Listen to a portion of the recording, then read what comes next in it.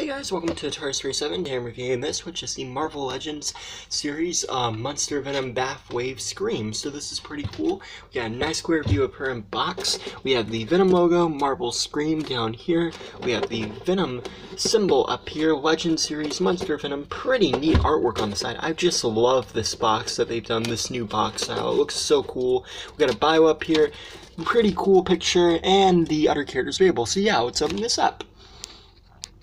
So here we have Scream, and um, if I'm not mistaken, I believe that when this character debuted in the comic books, uh, she didn't have a name. Well, I mean, she might have had like a human name, but I don't think she had like an alias. And I think I might be wrong about this, but I believe that the company Toy Biz, when they released an action figure of her in the 90s, I think they were the ones who came up with her name, and then Marvel eventually integrated that into the comic book universe. Again, not 100% sure about that, but I think that's pretty cool. And uh, yeah, so here we have this character in action figure format again, and uh, it's very nice. I love the designs on the face. It just looks so cool up here with the all black and then you can see the white eyes and the teeth. It just looks amazing.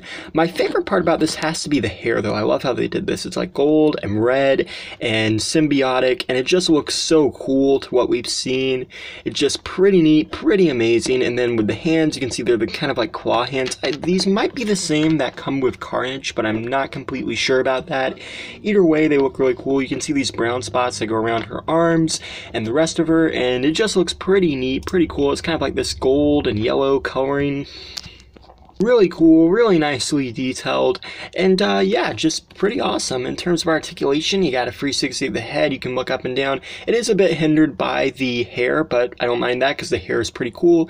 You have a 360 of the arms, again, a little bit hindered by the hair there, but still neat. They swing out the shoulder, 360 there, single jointed elbow, but it does rotate as well. There is a 360 at the wrist, but a little stiff. It's on hinges.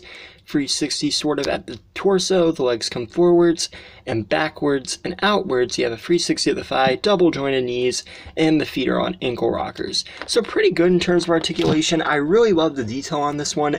Uh, very cool, very nice. And again, you know, it's kind of nice to see this character being released again because, again, not 100% sure about her name, but that's how the character got the name. at least I think that is. So it's kind of cool to see this come back as an action figure and pretty cool. So yeah, thanks for watching. Please rate, like, and subscribe side.